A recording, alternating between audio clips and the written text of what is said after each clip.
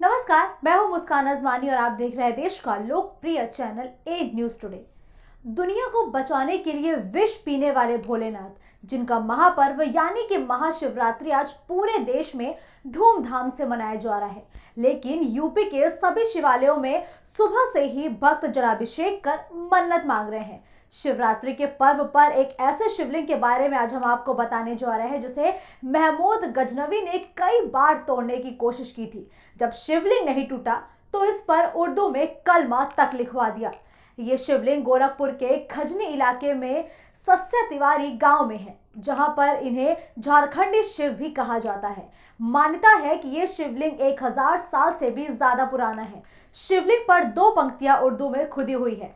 पहली पंक्ति में लिखा है, या अल्लाह, और दूसरी पंक्ति में खुदा हुआ है, ला इलाहा इल्लल्लाह। हालाँकि लोगों को यहाँ पूजा करने से रोकने की गजनवी की साजिश काम नहीं आई। कलमा खुदा होने के बावजूद यहाँ लोगों की आस्था कम नहीं हुई। आज भी यहाँ विधिवत पूजा के लिए लंबी लंबी लाइनें लगती हैं। मंदिर का पंडित और गाँव के बुज़ुर्ग भी इस मान्यता की तरदीक करते हैं। इस मंदिर को लेकर वहाँ के बुज़ुर्ग बताते हैं कि यहाँ का इतिहास काफ़ी ज़्यादा पुराना है और साथ ही साथ ऐसा शिवलिंग पूरे भारत में कहीं भी और नहीं है। उन्होंने बताया कि कलमा लिखे शिवलिंग पर घी का लेप जितना लगाया जाता है, शिवलिंग उतना ज़्यादा चमकने लगता है।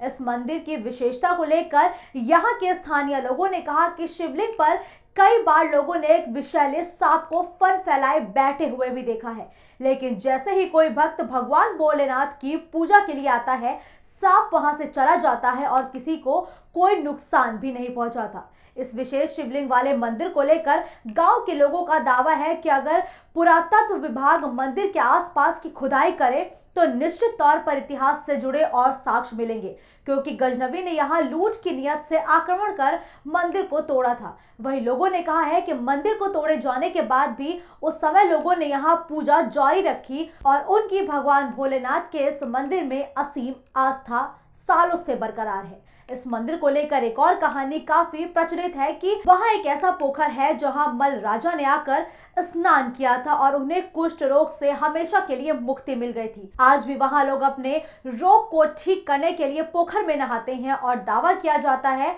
कि इससे उन्हें बीमारी से छुटकारा मिल जाता है। हमारी आज के इस खास रिपोर्ट में इतना ही। आप देखते रहिए ए न्यूज़ टुडे